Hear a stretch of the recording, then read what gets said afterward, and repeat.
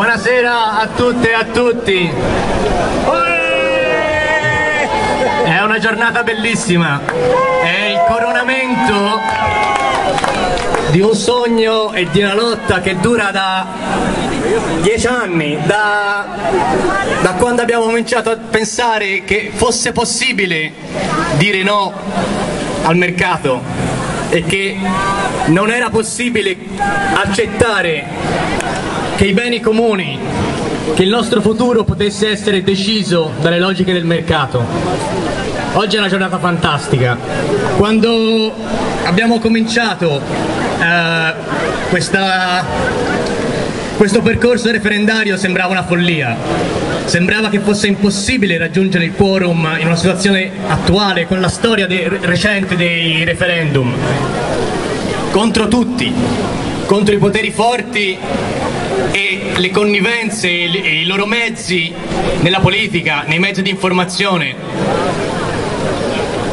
E invece si è costruito un movimento incredibile, centinaia e centinaia di comitati in tutta Italia, dovunque, hanno costruito un movimento fortissimo, un movimento di opinione che ha attraversato tutta l'Italia e, e che ha portato la gente comune a impegnarsi in prima persona e a votare. Hanno provato in tutti i modi a fermarci, hanno provato a bloccare il referendum sul nucleare, hanno provato a, a dirci le date sbagliate, a mandarci al mare.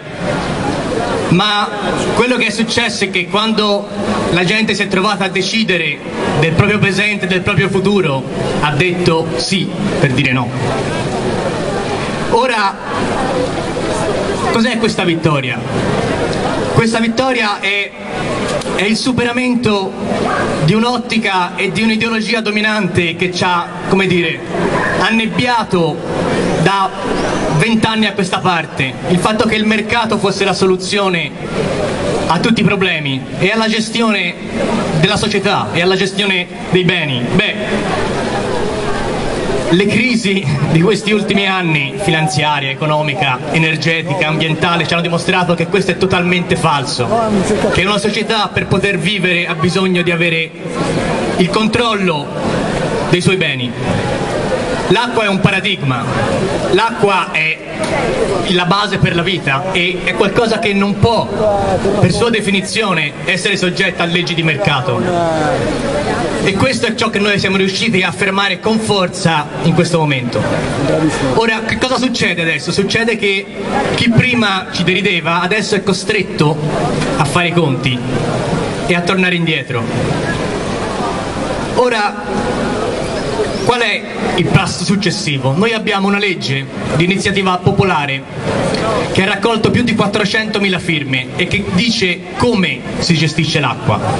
Che l'acqua è un bene comune, che quindi non deve essere gestito in maniera privata, ma anche che deve essere gestito in maniera partecipata, con la partecipazione della gente alle decisioni. Questo è un cambio completo di paradigma e questo è quello che noi vogliamo affermare e questa è la direzione che deve essere presa e adesso siamo più forti per poterlo dire.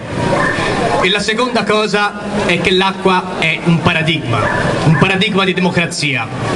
E la democrazia significa partecipazione, senza la partecipazione sono tutte parole e questa è stata una grande giornata di partecipazione. Avanti così, grazie.